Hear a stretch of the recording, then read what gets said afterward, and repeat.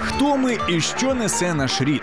Про українців та українство послідовно на фактах, прикладах і в персоналі. В ефірі програма Код нації на радіо М. Якби вона жила у наш час, її б називали дитиною індіго, бо читала вже в 4, майстерно вишивала у 6, у 9 написала перший вірш, а в 19 цілий підручник стародавня історія східних народів. Він призначався для її сестер. Чи не найвідоміша українка, яка першою спадає на думку, символ стійкості і боротьби за українськість? Мова про геніальну Лесю Українку. Вітаю, друзі! В ефірі програма Код нації і я, її ведуча Юлія Скоробогач. На розмові про одну із визначних постатей української культури Лесю Українку і спробі осмислення її світогляду життєвого шляху, шанувальник творчості, знавець біографії поетеси, науковий співробітник музею Лесі Українки Микола Захаркін. Вітаю в студії, пане Миколо. Вітаю, пані Юлія. Як людина, яка посвячена в такі тонкощі біографічні її, як би ви представляли Лесю Українку, Ларису Косач усім іншим, як би ви її знайомили або з нею знайомили усіх інших? Я завжди намагався на екскурсіях е, показати не стільки розумієте, такий канонічно-героїчний образ. Звісно, це також було, і я від цього не відрікаюсь жодним чином.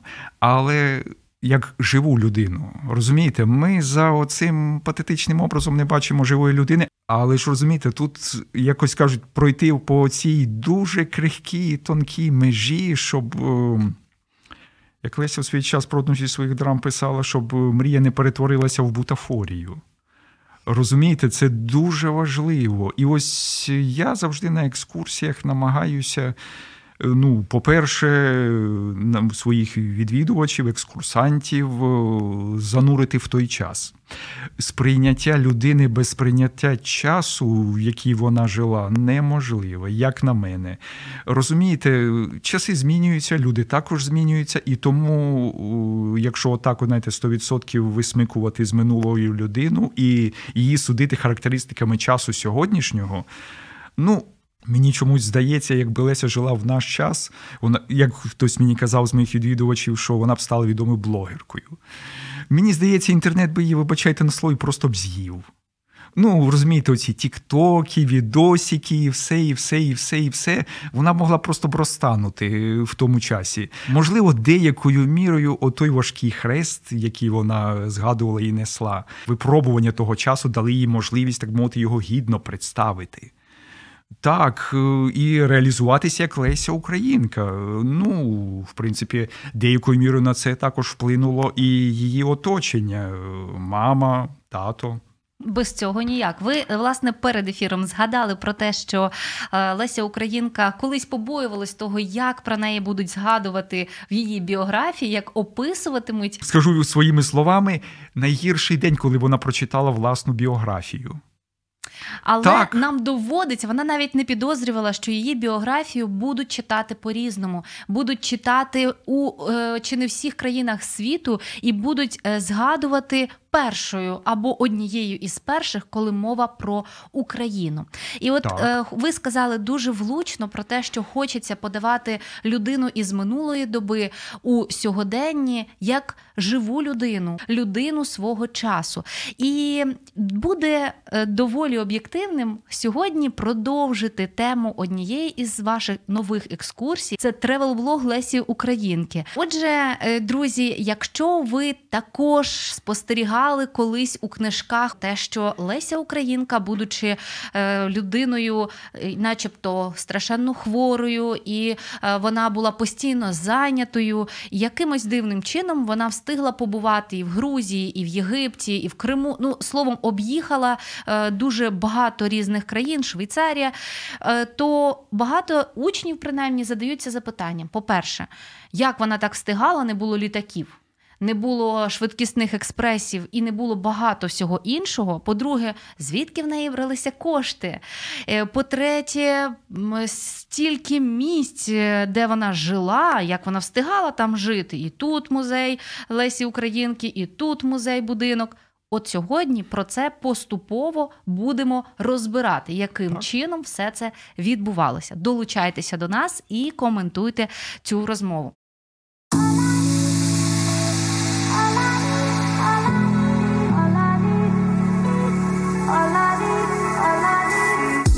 Долучайся до Радіо М у соціальних мережах: YouTube канал, Facebook сторінка, TikTok, Радіо М, Телеграм, Інстаграм, Радіо М.Ю.А. а також наш сайт radio.m.ua. Радіо М це все, що тобі потрібно. Отож, е, Леся Українка, певно, що варто говорити ще до її народження, тому що ну, це передумова деякою мірою так. Як по матері, так і по батькові рід е, рід Драгоманових і рід Косачів. Це дуже стародавні роди.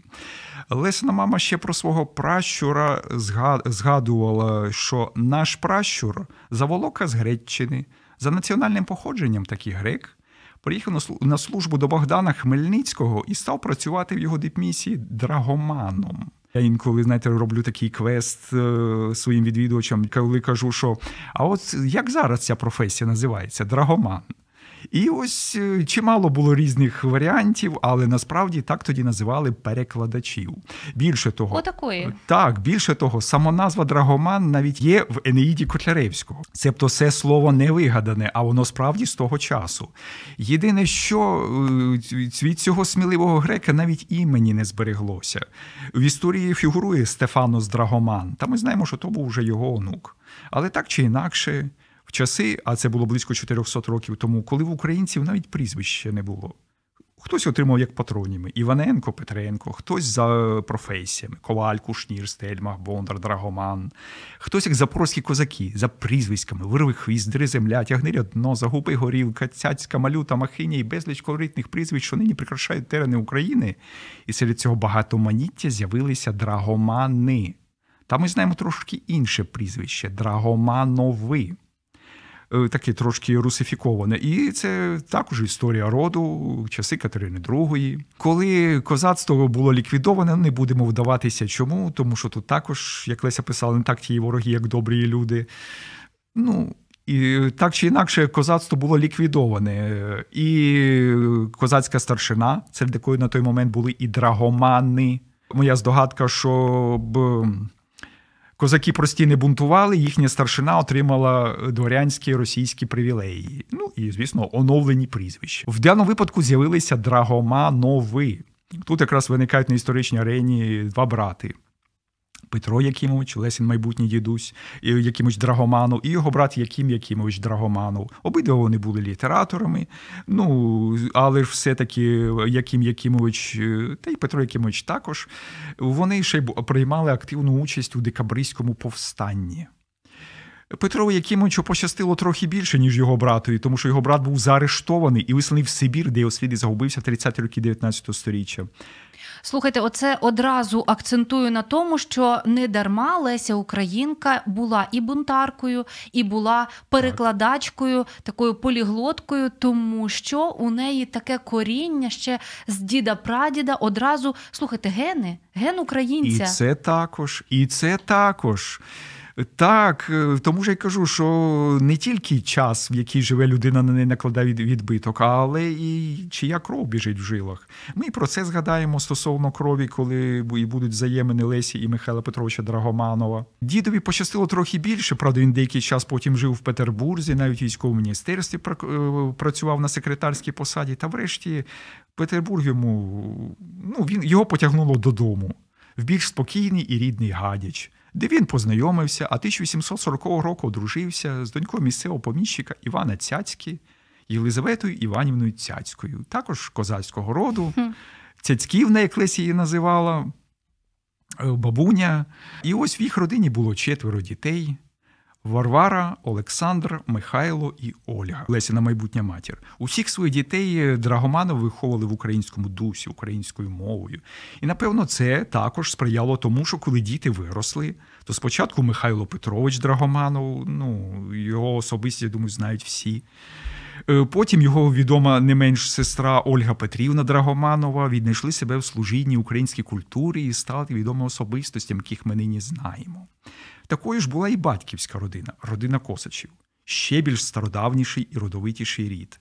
І тут треба зауважити, на жаль, є, не скажу тенденції, на щастя, це не так, але є намагання українізувати Лесю ще більше, ніж вона була українкою. Е, ну, От саме з родом Косачей це пов'язано, тому що я зараз викладу е, версію, яку знала сама Леся, яку вона сама притримувалася, і, в принципі, чимало різних моментів з саме цією версією пов'язано. Рід Косачів ще більш стародавніший і родовитіший. Е, якщо Драгоманові на наш час приблизно 400 років, Косачів вдвічі старіші.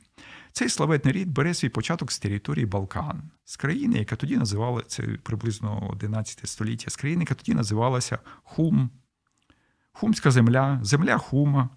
Е, ну, так чи інакше, нею володів е, відомий і впливовий рід на той час це рід Косачів. Інколи він фігурує як рід жупанів, вукшичів, косачів. Слово жупан українське, воно там не означало не зовсім те, що тут. Там жупан означав володар. А там це де? Де ось ця земля ба, хума? Ба, а ось ми якраз згадаємо, це Балкани. Розумієте? Тому розумієте, контекст навіть української мови він вписаний в світовий контекст. І розумієте, такі слова, які ми, скажімо, от юнак. Ну, хто такий юнак, я думаю, українцям не варто пояснювати. А по-сербськи це величали героїв. Угу. Жупан, ну, що таке жупани, думаю, всі знаєте. Е, а в той час так тоді називали володарів земель. Ну, як у нас там князь, король, цар, там жупан. Ну, це їхнє, так би мовити, родове було, який володів рід косачів, вукшичів, косачів. І ось е, це був вельми впливовий рід. Е, і зберігся навіть дипломатичний архів князя Стефана Косача, в якому є документ, е, лист від імператора Священної Римської імперії Фрідріха, який надав князеві Стефану герцогський титул. І таким чином його хум, хумська земля, хумське князівство отримало сучасну назву. А як ви думаєте, яку? Ну, певно, що Сербія. Ні, коли князівство стає герцогством. Герцеговіна. А, Це їхню, а, але ж е, зараз ми знаємо цю країну Боснія Герцеговіна. Справа в тому, що рід Косачів був стародавнім босняцьким родом.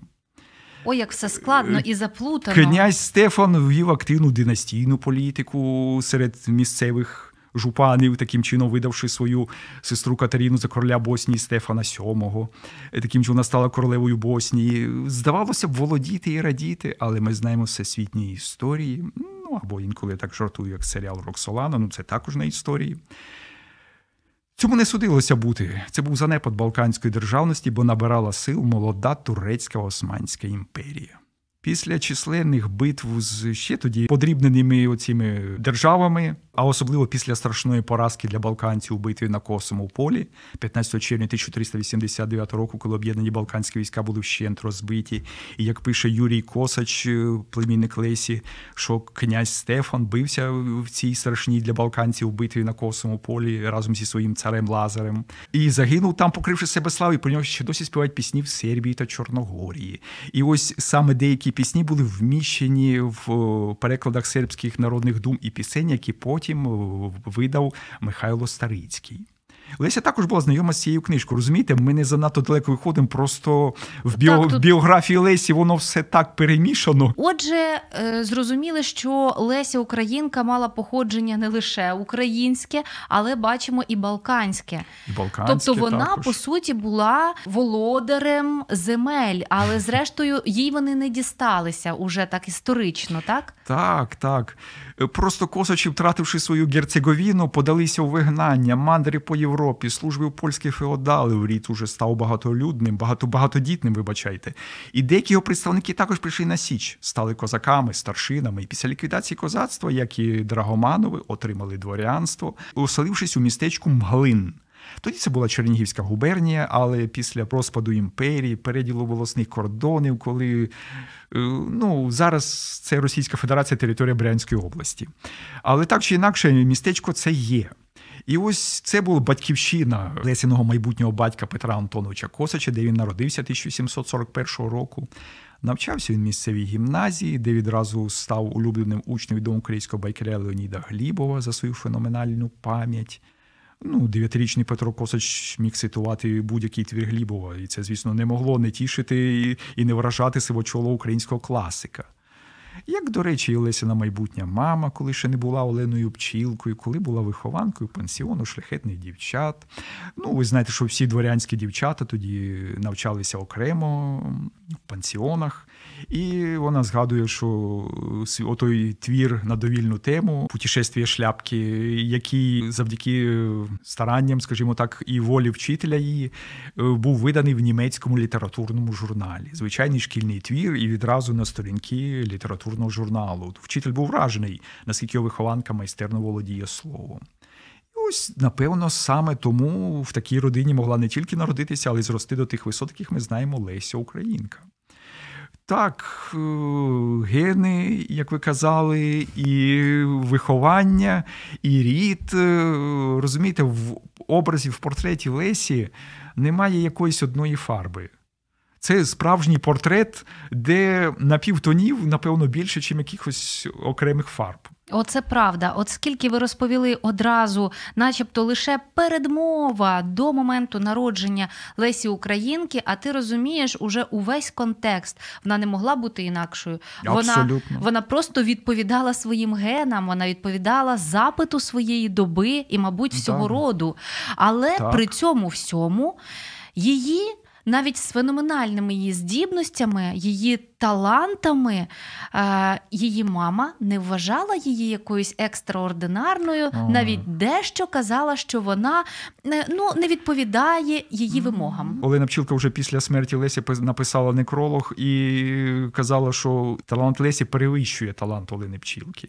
Розумієте, вона це визнала. Тому що там було за життя? Ну, можливо, можливо, Олена Пчілка, ну напевно, як і кожна мама вимогливою була. Да, була вимогливою і до Лесі, і до тих чоловіків, які були поряд з нею, тому вона, можливо, не всіх сприймала. Так, розумієте, тому що в образі Лесі є чимало таких е, особистісних моментів, ну, які, напевно, першопочатково не були для загального огляду і загального розгляду. Якщо розглядати життя Лесі під кутом е, такої звичайної дівчинки для початку, забудемо про всю геніальність. Ну так. Е, а в даний момент згадаємо лише, що це звичайна дівчинка. От е, із тих досліджень, які ви робили, із е, тих нюансів, який портрет можна скласти, чи відповідає те, що я розповідала на початку? В чотири вже вміє читати, у шість вона вишиває, в дев'ять вона вже е, там володіє плюс е, ще кількома мовами і зрештою в 19 пише е, уже цілу цілу історію, підручник, по суті, ці цілий. Чи відповідає це дійсності? Ось за вашими знахідками? Те, що вона в 4, ну або 4,5, коли фігурує, почала читати, це ми знаходимо ще в листі її найкращої подруги Маргарити Комарової. Е, коли Леся до них приїхала в Одесу до її батька, а родина Комарових була дуже дружними з родиною Косачів. А батько переклав саме оту першу книжку, яку вона прочитала в своєму житті розмова про земні сили. Як на мене, як для 4, та навіть 4,5, то вже деталі, таке буквоїдство.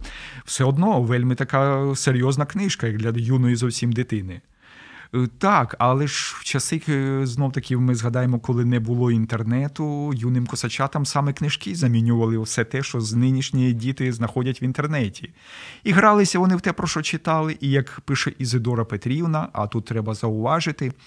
Нам е, ще в свій час, ще в 60-ті роки, коли відкрився наш музей, а він відкрився в 62-му році дуже дуже допоміг той факт. Для нас трапилась можливість спілкування з її ще живими сестрами, які жили за кордоном. Наші співробітники тодішні почали активну переписку з Оксаною Петрівною, що яка на той момент жила у Швейцарії разом зі своїм чоловіком Фредом Габом і Ізидорою Петрівною, найменшою, яка на той момент уже жила в Сполучених Штатах Америки в невеличкому містечку Піскатавей в штаті Нью-Джерсі.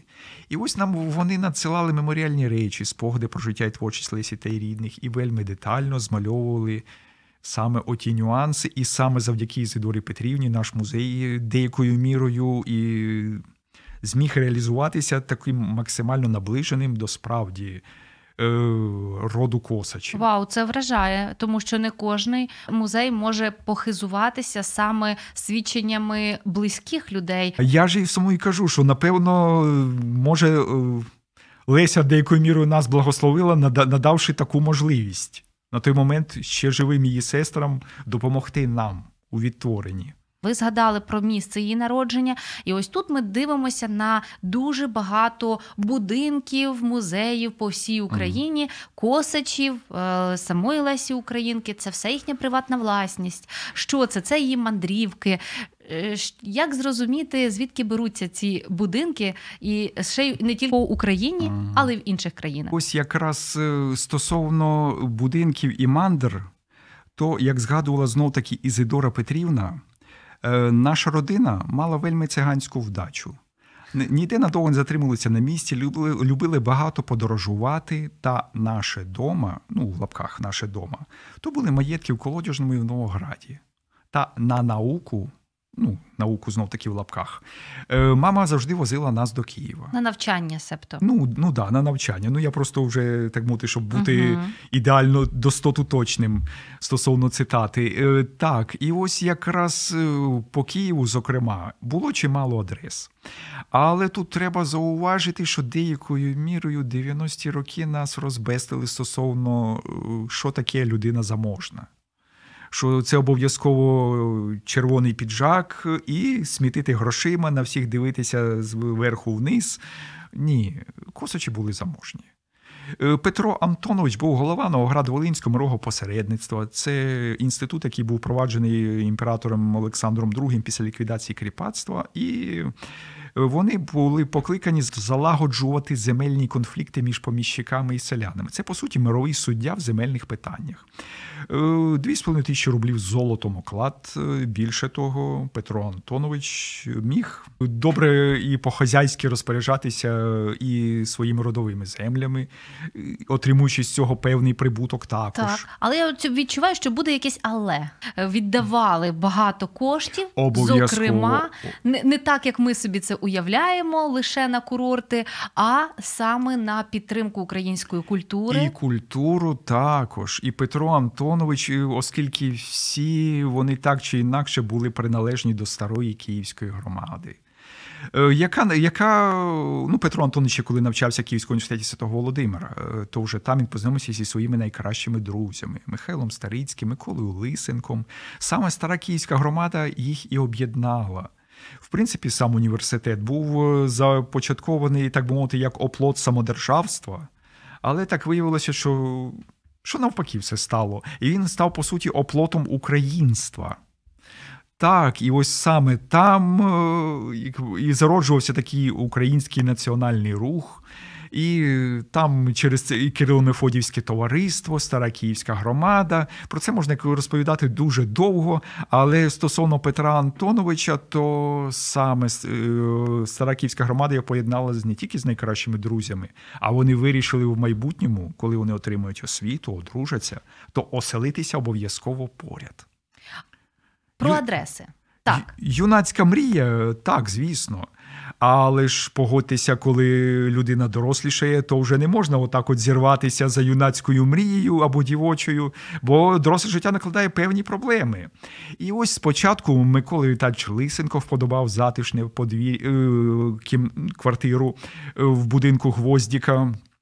А всі будинки в той час, та напевно по всій імперії, також е, як географічна адреса, то це був не тільки номер будинку, назва вулиці, але і кому належав будинок. Угу. В даному випадку Петро Антонович зняв свого друга, який також громадівця Миколи Гвоздіка.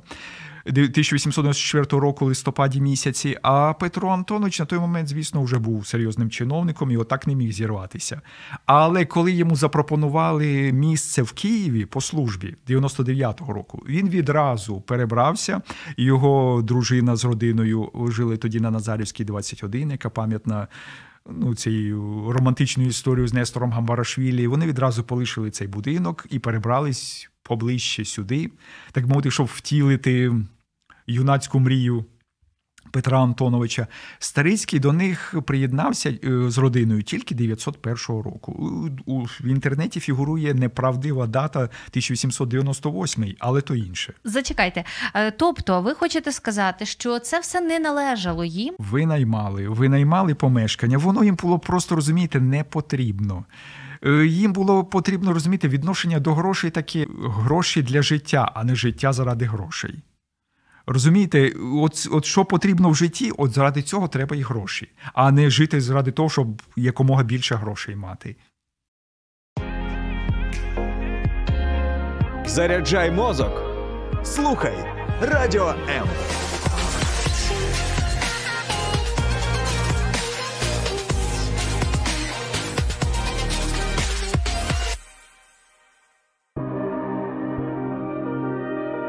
Хто ми і що несе наш рід? Про українців та українство послідовно на фактах, прикладах і в персоналі. В ефірі програма Код нації на радіо М. Літератури, от в принципі, шкільної літератури, вона постає перед нами такою дуже хворобливою дівчинкою, я б сказала, такою е, легенькою, благенькою, Проте, коли я вже заглиблююся у нові факти, які відкриває і ваш музей, зокрема, що це така е, вольова пані, яка якій пальця в рот не клади. Скоріше, якою ми її бачимо. А розумієте, у кожного бачення своє. Е, так, е, ну звісно, маленька, благенька. По-перше, все воно почалося з того з тої сумної події на водохрещі, коли Леся застудилася, і в неї почалася, як пише Ізидора Петрівна якась хвороба. Ніхто не знав, що. Думали, ревматизм, що швидко мене. Е, ну, 10 років дитині життя тільки починається. Але то, на жаль, почався туберкульоз. Страшна і невиліковна хвороба. І тут треба знов таки зробити коротеньку ремарочку. Бо зараз знов таки навіть в деяких підручниках пишуть таке, що, вибачайте, на голову не налазить. Провалилася підлітку, впалася в снігу, майже не моржувала. Вибачайте, на слові, хтось Титаніка передивився і захотів зробити український блокбастер, екшен додати. Ні, все було не так видовищно, але не менш страшно. Просто постоявши в калюжі на морозі, валяночки набрали води, ноги застудилися і почали боліти. Ніхто не знав, що сталося. Але ж, як я казав, туберкульоз, присуд, 30-літня війна. І е, ми інколи згадуємо про цей період також і за спогадами лікарів. Зокрема, Олександр Іванович Сапєшко, який лікував хворих на ту, на туберкульоз кісток колом йодоформу в суглоб. Е, це дуже-дуже дуже болюча процедура. Писав: у мене на прийомах кремезні мужики ревіли ведмедями. А ця тендітна квола дівчина, стіпивши зуби, усе терпіла. Звідки сила бралася в цьому кволому тілі? Лікар був вражений такою витривалістю, він знав, що це дуже боляче. Але ж Леся вже потім е, Кобилянської згадувала, а чи варто вона було того тая витривалість? Може, інколи треба було дати собі волю. Так, вона була ще з маличку, не те, що вихована, вона, напевно, мала від природи таку вдачу, саме е, таку вольову, щоб не е, І і деякою мірою де, дещо вона, напевно, успадкувала від своєї матері. Бо як е, один з лисезнавців, пан Сергій Михида, е, в своїй монографії е, до темниці психопортрету Лесі Українки, він як лікар фахово виводить, що якби в Лесі не туберкульоз, то вона б стала за характером, ну як продовженням своєї матері, така ж сильна, вольова. В той час, як е, Ольга Косач Кривенюк е, пише, що той, хто хоче пізнати Лесю, нехай подивиться на її батька. Вони обидва були лагідні вдачі, могли скипіти донестями. Напевно, деякою мірою Леся ну, була знаєте, дитиною, яка може в однаковій мірі відобразився і батько, і матір. Що різні люди, які на неї дивляться, бачать або батька, або матір. Ну, стосовно батька, тут варто зауважити, що як ви знаєте, що батько її виховував з маличку. Ну, коли мама хворіла на анемію, їздила на лікування в Італію. Леся Українка знала багато мов, принаймні сім із них було робочих. Вона перекладала зарубіжні е, книги, класиків, і вона сама уже писала, створювала з. Е, яким чином е, ви, можливо, досліджували саме цей момент? Вплинула її родина, оточення, чи більше все-таки вона сама пізнавала це в подорожах, в своїх читанні, в спілкуванні з друзями? Друзями, що впливало на ось цю маленьку юну, зовсім ще особистість, щоб вона давала такий потужний результат. Лесезнавчі, звісно, сперечаються, що вона знала е, до 12 іноземних мов. Це ще можна згадати її висловлювання, що рідна мова то живі пахощі слова, а переклад це сіно. Ну, авторська думка. Хм. Так, е, так, вона розуміла, що автора можна пізнати тільки рідною, рідною мовою автора. Бо в перекладі то вже не зовсім автор, то вже і перекладач також. А як це на неї впливало? Я не думаю, що вона стала Лесі Українку е, виключно заради когось. Вона стала Лесі Українку, напевно, заради самої себе. Так що вона просто не могла. І дивлячись на все це, і відчуваючи в собі саме ну, деяку міру отой дух борця незламного. Так, хоча вона, звісно, не була такою полум'яною, як її змальовують. Вона була полум'яною виключно на сторінках власних творів. Зараз це дуже відгукнеться багатьом українцям, тому що е, в зв'язку з війною українці потрапили в інші країни вивчають ці мови. І для них е, приклад Лесі Українки буде теж дуже гарний, тому що і так вона теж вивчала мови, хоча б для розмови, для комунікації. Так, так. Але зрештою їй це вдалося навіть на такому класному, високому професійному рівні, де бувала Леся Українка. За яких нагод? Якщо почнімо, от з Одеси, здається, якщо Одеса, так кінець 88, початок 89-го року, коли її туди, ну в основному, це, звісно, були лікувальні мандри. Так, ну вона, звісно, згадувала, що і мріяла про ті часи, коли може зможе їздити в Європу як туристка, а не як пацієнтка. Коли вона зможе, знаєте, не шукати лікарів і лікарні, історичні пам'ятки, будь-що що цікаво туристам. Вона мріяла про це до 1908 року. Ну але ж ми трохи знову кажете, забігаємо наперед. Е, так, спочатку була Одеса, лікарі порадили їй. Е, Е, теплолікування, гідротерапію, яка, врешті, як ви зрозумієте, виявилася не дуже їй допомогла. З тою ж метою в неї був і Крим пізніше. Але ж паралельно, звісно, крім відвідин лікарів і лікувальних е, цих різних заходів, було у неї знайомство і як мовити, роздивляння, куди вона потрапила, якщо так можна сказати. Ну а Одеса це, звісно, родина Комарових.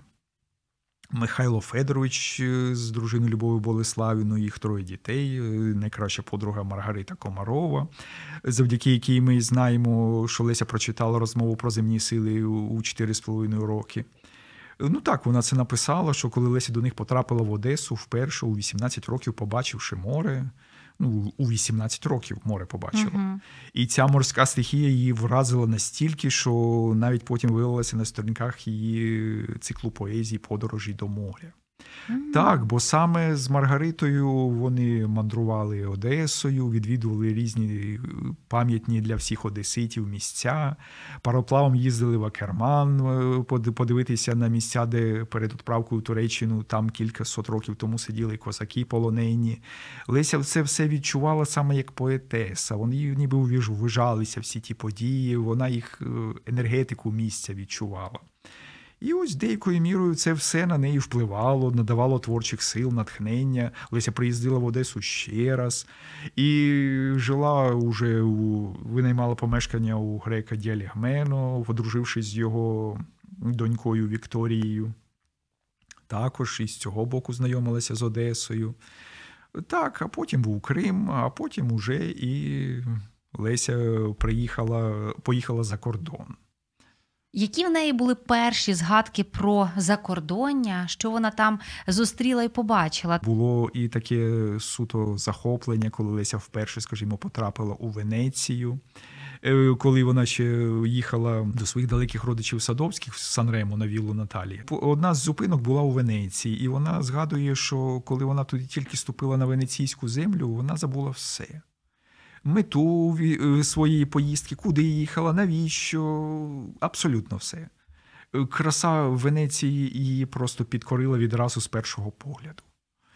І вже потім, коли треба було все-таки рушати далі, вона написала, що не знаю, чи повернуся сюди ще раз, але втім, що цей день я не забуду ніколи, я втім певна.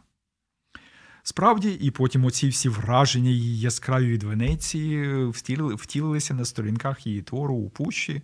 Е, вона і вклала в уста свого головного героя Річарда Айрона. Це як аспект, що вона так. була вражена Венецією. Е, коли потрапила на німецьку землю, на жаль, також був сумний привід знов таки до лікарів їхати. Але вона е, дуже любила, дозвольте, дуже любила німецьку, як виявляється, а, абсолютно. обожнювала вірші Гете, так? А, а так Генрі Гейне це був її улюблений автор. Е, книга пісень е, по плеяді, а в плеяді молодих літераторів це був такий знаєте, молодіжний аналог старої київської громади. Е, юні плеядівці, а в основному це були діти тих, хто був в старій київській громаді. І вони також потім потім стали відомими особистостями в українській культурі. Там вони займалися також не менш серйозними речами. Планували перекласти взяти 60 відомих європейських авторів найкращі твори і перекласти їх українською мовою. Амбітні е, плани. Абсолютно для того ж саме, щоб українці не зациклювалися виключно на гарній російській літературі. Не те, щоб її, як кажуть, псували, що що російська це щось таке, щоб, щоб у них був вибір щоб вони розуміли, що вони європейці, щоб що у них знаєте, щоб вони побачили світ не тільки той, що в сільському вікні. Бо розумієте, як я вам казав, що намагання зануритися в минуле. Ну, скажімо, от уявіть себе на 130 років тому, коли у вас є оте ж саме бажання пізнати світ, але технічних можливостей немає жодних. Е, друкованих матеріалів вони не всім по кишені. І що бачить простий селянин або селянка? Село на сцені. І вони і вони так ходили по колу. А як же ж так? Шевченко писав і чужому навчайтеся, і свого не цурайтеся. Так е, свого ніхто не цурався. А чуже, де його взяти? Коли далі села не можна виїхати. А молода кров буяє, вона, вона вимагає покажіть оте чуже, а де його взяти? І ось Леся розуміла, і всі українські інтелігенція розуміли, що треба людям оце чуже показати. І вони показували. І показували, намагалися. В деяких джерелах зустрічаються слова, де вона згадує про росіян, і вона відзначала, що це люди, які дуже гамірні, яких е, вирізняють, і їй то дуже сильно не подобалося, тому що завжди вони залишали після себе погане відчуття. Так, і це також було так, звісно. Цитату, яку напевно знають всі, коли Леся потрапила за кордон, то відчула, що ніби на руках у неї кайдани, а вона потрапила у вільний світ, що тут все не так, як там, і їй не хочеться повертатися назад. Так, це вона своєму братові писала. До речі, е, зараз от варто зазначити, що являла собою ось та країна, в якій жила Леся Українка. Якою тоді була Україна? Ну, Україна, Україна. Тоді України як держави не було. Чому ж і кайдани? Е, так, і кайдани. Тоді Україну, ну принаймні в сучасних її кордонах між собою поділили Російська і Австро-Угорська імперії. І тому так от це час указів багатьох е, і Емського, і е, Валуївського. Е, да, Валуївський циркуляр, який не визнавав українську мову в принципі. Уявляєте, для Лесі Українки, для всіх інтелігентів, так, для всіх так. творчих людей, які тільки і творили українською, що означає так. заборонити. Не те, що заборонити, розумієте, заборонити можна те, що є. А коли тут, в принципі, так цього немає. Просто це от. А вже Емський указ е, зазначав, що не можна друкувати певні твори українською мовою. Себто казус такий е, вийшов в тому сенсі, що якщо Валуйський циркуляр не визнавав мову в принципі, то цей вже забороняв друк української мови. Тобто він сам не розуміючи цього, він її визнав. Як завжди, в принципі, роблять. Да, Він її визнав, люди. розумієте, такий от цікавий нюанс. І таким чином української мови, в принципі, сучасної, яку ми знаємо зараз, її тоді ще не було. Вона тільки творилася. І Леся, і Кос... Старицькі, Лисенки. Деякою мірою українська інтелігенція була причетна до твор... мовотворчості. Е, тоді, як ви знаєте, була така так звана Кулішівка, Драгоманівка. А ось коли після Емського указу з'явився третій варіант української мови, так звана Яришка. І ось так, от так чи інакше, всі її враження від того, що вона десь бачила, чула, відчувала, з'являлися вони з'являлися в її творах в тому чи іншому вигляді. Українською більше того, у неї, в принципі, українська суть і душа, українські теми, українські проблеми тільки так. Вони фігурували на різному історичному тлі давньої Греції, давнього Риму, давнього Іудеї. Ну, здавалося б, де Україна, а де там давній Рим. А ви уважніше придивіться, нічого не нагадує. Саме українська тематика. Українська тематика вона говорить до нас через оці от е, образи і і, і, як це, і насказання. Е, розумієте, вона через це все говорить до нас. Е, тим вона, напевно, і стала відомою, бо вона вміла говорити образами.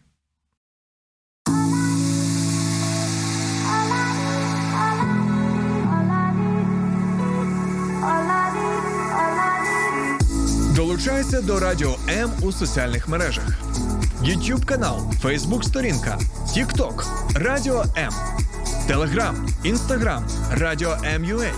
а також наш сайт radio.m.ua. Радіо М це все, що тобі потрібно.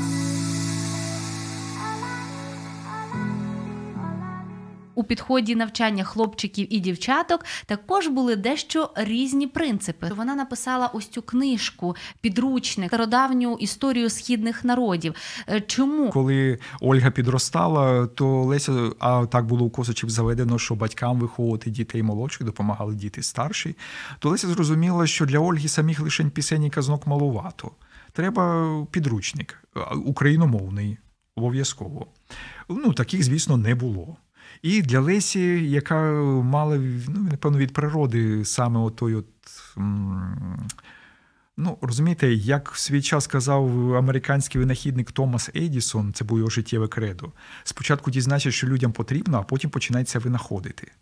В деякою мірою Леся також це і наслідувала, і вона розуміла, що є потреба в підручнику. У неї немає досвіду, але що це змінює, коли є бажання спробувати себе в новому. І цьому бажанню дуже допоміг її дядько Михайло Драгоманов, порадивши її низку робіт відомих французьких істориків-сходознавців, таких як Менара, Масперо, Елізе Клю.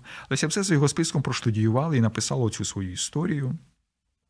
Як ви, знаєте, вже потім е, в ілюстрації, то вона, коли вже зробила чернетку, е, зрозуміла, що книжка дуже перспективна і буде пригоді усім дітям віку Ольги, такий загальний український підручник для української дитини.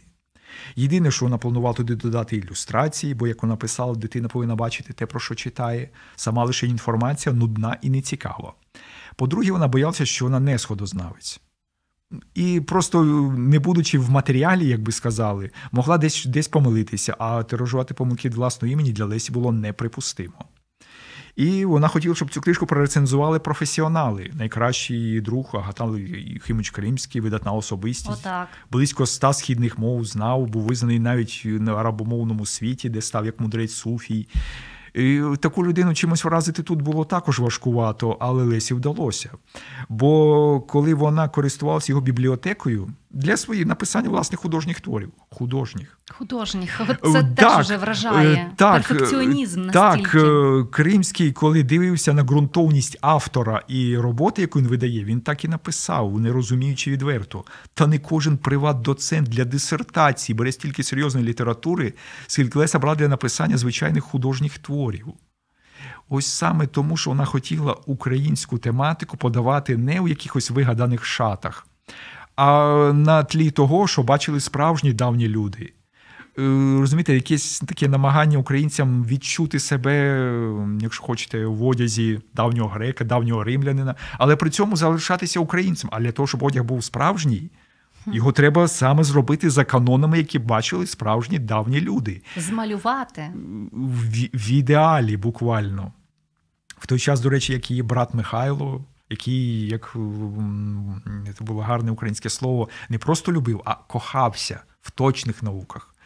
Він, напевно, саме тому і став наймолодшим в Російській імперії професором, е, бо, напевно, в душі мав, і, як кажуть, і фізика, і лірика. І відчував оту проблематику, коли викладаєш е, геометрію або алгебру для гуманітаріїв. І, напевно, йому таки вдалося віднайти оту формулу викладання, щоб ці складні науки сприймалися як читання поезії. Він став наймолодшим Російській імперії професором, приват-доцент, математик за факом цікавився фізичними процесами, видав цілу низку наукових праць з фізики, оптики, метеорології. Саме він закладав перші метеорологічні станції на території сучасної України. У нього було чимало починань, які, на жаль, обірвала смерть на 34-му році життя. І вони були дуже близькими із Лесею. Дуже близькі. Мишолосії, це було з дитинства і до останніх днів. Наскільки має бути потужність ось цієї особистості, праці здатність і працелюбність, коли людина, зрештою, дійсно не машина, без тих е, технічних засобів, які сьогодні так просто оточують нас, може створювати, е, ну, по-перше, е, глибокі тексти, які потребують дуже ретельної підготовки і і знання, розуміння тематики, але ще і ну, це швидкість, як мінімум, написання. Будь це на друкованій машинці, чи то від руки, це ще й швидко. Але ж що найголовніше, що ось ця книжка. Е, ну, У неї було зрозуміти все в контексті загальної роботи. І ця книжка це був перший крок до лісової пісні. Mm. Так, це було перше заглиблення в індоєвропейську міфологію.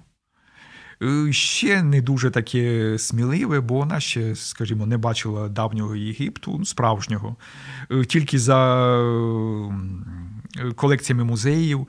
Ще не знала так мов багато, зокрема англійської ще не знала. І, звісно, англомовні джерела для неї були закриті. Е, але ж все-таки воно, звісно, не дуже так вдалося спочатку, як вона хотіла. Вона повернулася до цієї теми тільки наприкінці 1910-х. Коли вона вже побувала в Єгипті, і і написала, що хороша це сторона, і я вже звикла її любити не як чужу. Напевно, для тих, хто мандрує зараз, вони можуть деякою мірою зрозуміти Лесю, що вона змогла навіть там віднаходити українську тематику в таких е, речах, скажімо, як Хамсін або дихання пустелі. Ну, здавалося б, де тут Україна, а де пустеля. Але тим не менше, вона змогла і там знаходити більше того. З Єгипту навіть писала е, Грінченкові, що ну, об'їхавши Європу, маючи можливість порівнювати, що у Гелуан, де вона зупинялася уже на лікуванні, малесеньке містечко, що непогано було б там зробити українську громадку, щоб добре, що ви були до нас приїхали, і ми тут осядемо. Вона там змальовує, що рів'єра дощова, на каплі холодно. Тут якраз саме гарний клімат. І ось е, деякою мірою після всього цього, коли вона набиралася таких позитивних емоцій, е, коли вона побачила і Сфінкса, вивчила англійську мову, і коли все це зібралося докупи, вона ще раз повернулася до підручника, і ось ця круговерть, якщо так можна сказати, е, образів давньоіндійських богів, напівбогів, богінь, імена яких не те, що запам'ятати, навіть вимовити важкувато для українця. Е, вони якось, напевно, випадково для неї, можливо, вона трошки глибше тепер змогла зануритися. Вони почали отримувати українські шати українські фарби, українські імена. І серед цього багатоманіття е, з'явилися випадково водяник, лісовик, мавка. Леся була вражена. Напевно, для неї це було самої якось так, е, такий, як випадок, такі щось, як озаріння, якщо хочете. І таким чином у неї з'явився той самий непереможний настрій, як вона пише, що цей твір написала за 10-12 днів, а потім була хворою і досить довго приходила до тями. Зазвичай вона могла творити саме на межі десь.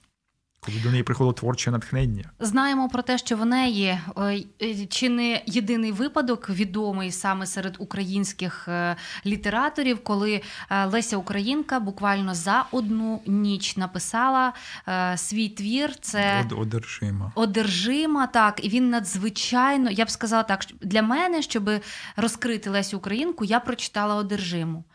Він для мене дуже глибокий і власне коли ти розумієш, чому вона ну чому він настільки насичений? Це якраз була ніч, коли помер її е, коханий, і де вона сиділа, і, мабуть, на ось цьому болю вона це і створила. Леся Українка, яка дуже любила театр, і, зокрема, відвідавши за кордоном театральну виставу, вона потім відгукувалася, наскільки це абсолютно інший світ від того, який показують, зображують на українських сценах, тому що на той момент український театр показував лише розвагу, якийсь е, фан, е, жарт і так щось таке дуже неглибоке.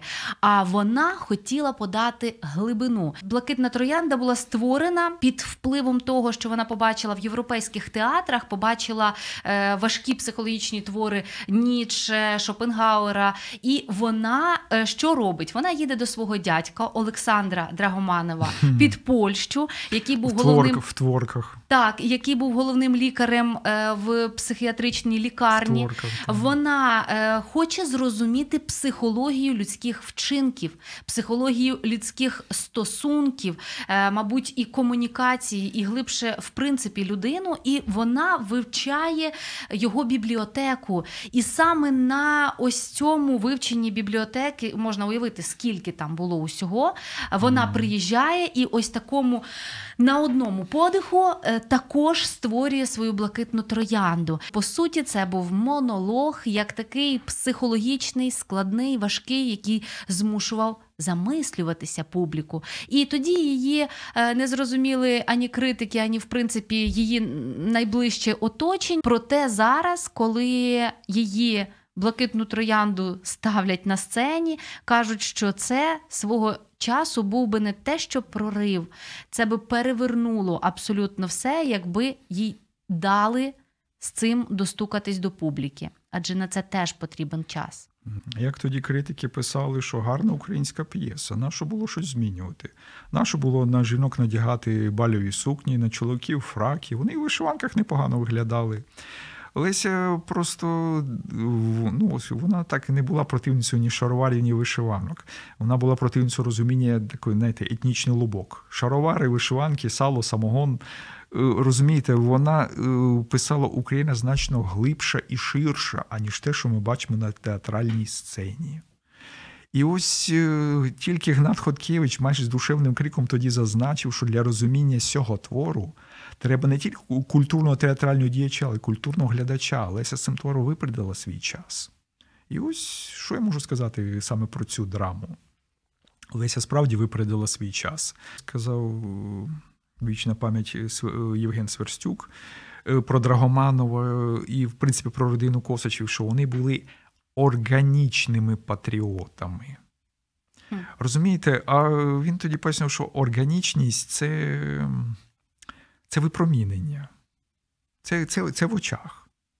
Розумієте, все зовнішнє, там вишиванка, там шаровари, плахта, це лише так мовити, як підкреслює те, що йде з очей. Бо якщо тут пусто, то все інше воно бутафорія. І не рятує, це точно. Все інше воно бутафорія. Навіть не отут, отут повинно бути. Бо це дзеркало. Коли ти занурюєшся трішечки більше, не просто назва, mm. а в історію створення.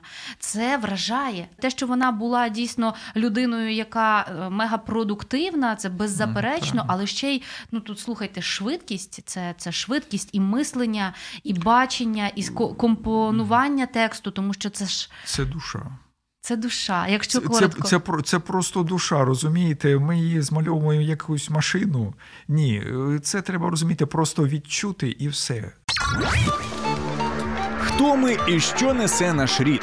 Про українців та українство послідовно на фактах, прикладах і в персоналі. В ефірі програма Код нації на радіо М. Чи знали ви, друзі, що якби Леся Українка записувала ноти своїх імпровізацій, то можливо вона б стала першою українською композиторкою, жінкою, композиторкою. Але вона цього не робила, проте вона грала на фортепіано і вона е, просто імпровізувала. Ну, тут ще одна грань. Тут так, так, так ж кажу, так таких е, граній є чимало. А стосовно музики, тут варто зауважити Лесіну знамениту фразу. Е, не знаю, але напевно з мене вийшов би значно краще музика, аніж літератор, якби доль зі мною не втягла злий жарт. Саме той злий жарт, 30-літня війна. Вона спочатку ще до цього страшного присуду долі мріяла саме про музику. Отакої. Саме збирати зали, але врешті оперована рука, кілька кісточок уражених туберкульозом було видалено, і домашні концерти.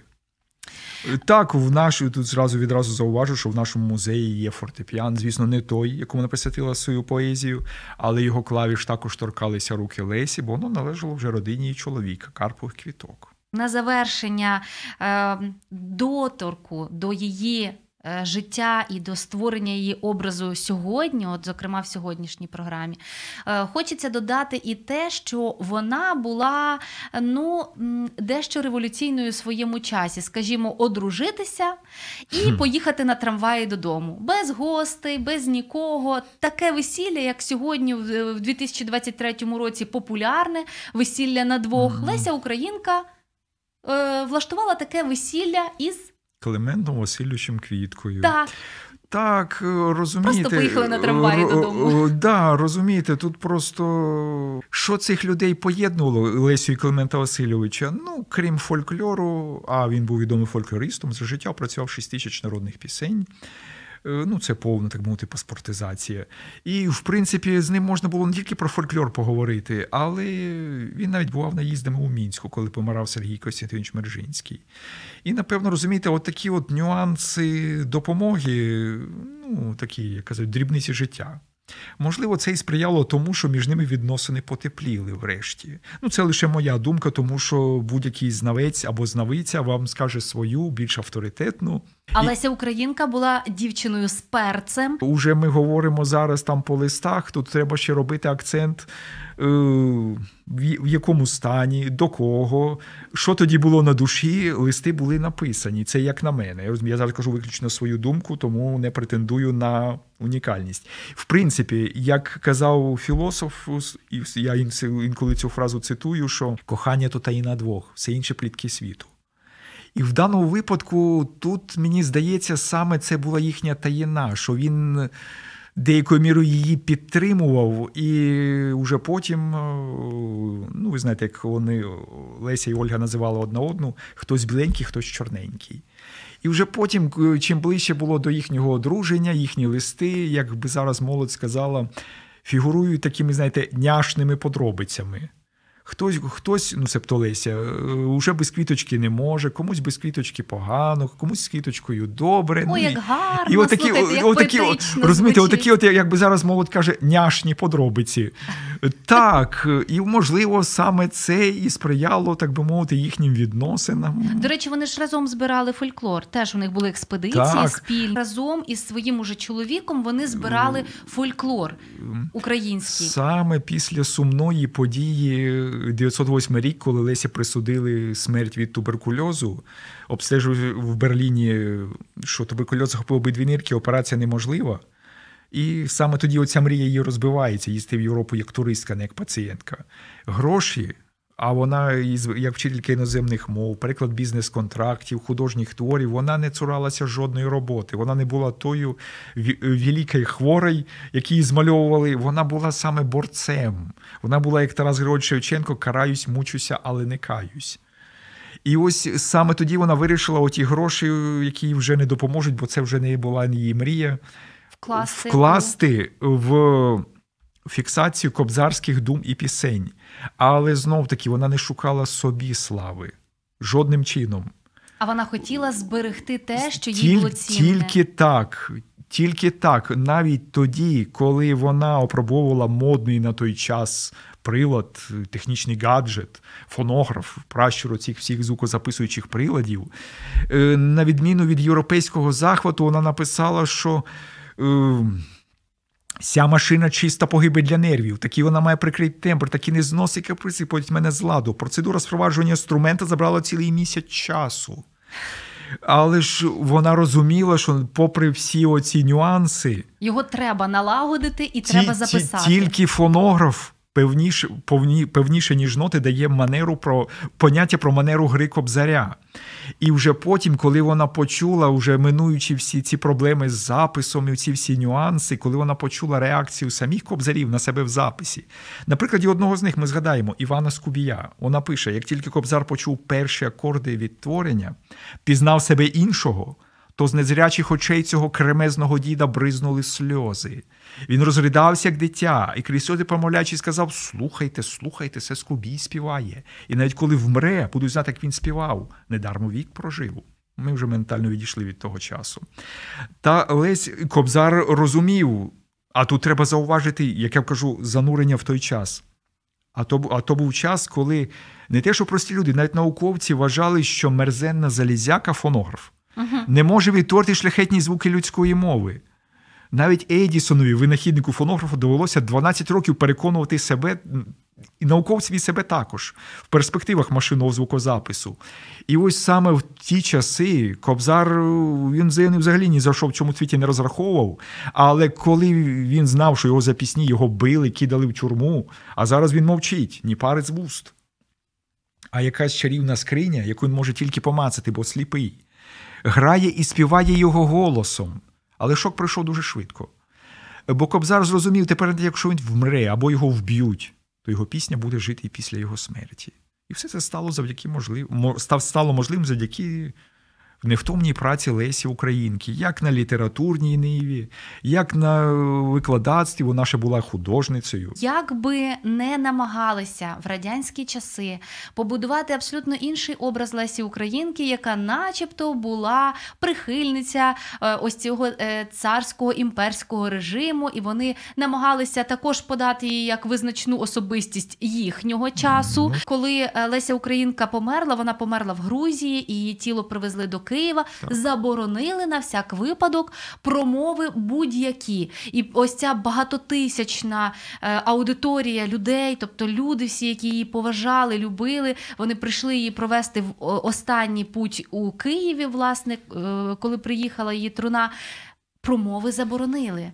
Людина, яка все життя е, так багато говорила, е, не змогла. ну, почути, образно почути е, про себе якийсь відгук е, останній. Ви правильно сказали, формально словами ніхто нічого не говорив. Але ж е, союз волинянок вони сказали без слів. Коли від цвинтаря, ну від воріт цвинтаря і до її могили несли її труну виключно жінки. Отак. Це теж знак. розумієте, тут, як то кажуть, без слів, нічого більше не треба. Так вони віддали шану найкращій з них. Я думаю, це промовисті за будь-які промови. Коли жінки, волинянки, Алеся Волинянка, навіть у, у нас, так мовити, вибіли, ну, і кімната з вибіленими стінами. Ну, знову таки, як данина такому волинському колориту вибілених хаток. І ось волинянки саме сказали без слів все своє ставлення до неї, всю свою любов, повагу, все. Вони все сказали без слів. Леся Українка, людина, певно, яку ми будемо згадувати чи не в кожному із видів мистецтва, бо вона до нього не просто доторкнулась, вона мала у ньому свій відбиток, дуже чіткий і яскравий. І друзі, якщо ви ще для себе не відкрили ось таку фантастичну, але абсолютно реальну Лесю, яку хочеться пізнавати ще більше. У вас є нагода приїхати до Києва, до музею Лесі Українки так. і прийти на захоплюючу. Ви вже розумієте, що це буде захоплююча. Екскурсія, ну... бесіда. Я б сказала, екскурс у час Лесі Українки. Екскурсії у нас йдуть щоденно, і вони такі загальнооглядові. Ну, є різні, звісно, але в основному загальнооглядові. Приходьте обов'язково до музею. Микола Захаркін, е, сьогоднішній наш гість. Дуже вдячні за е, Навзаєм. ті е, прекрасні грані, які завдяки вашим дослідженням, знахідкам ще більше українців відкриватимуть і складатимуть шану. Українці, знаєте, справжні українці, нашій Лесі. Залишайтеся із кодом нації, дізнавайтеся про код своєї прекрасної України в ось таких особистостях. До зустрічі, друзі.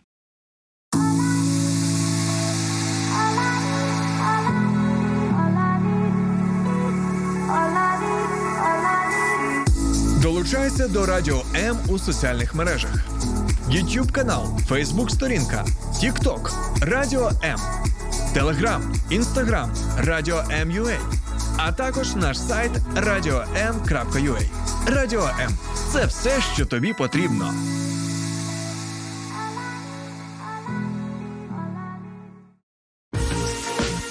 Ми пройдемо крізь життєві випробування, загартуємо нашу стійкість. Усі разом. Духовно-психологічна допомога, юридичні поради, корисна інформація та натхненні історії. Спецпроєкт під захистом на радіо М. Допоможемо бути захищеними.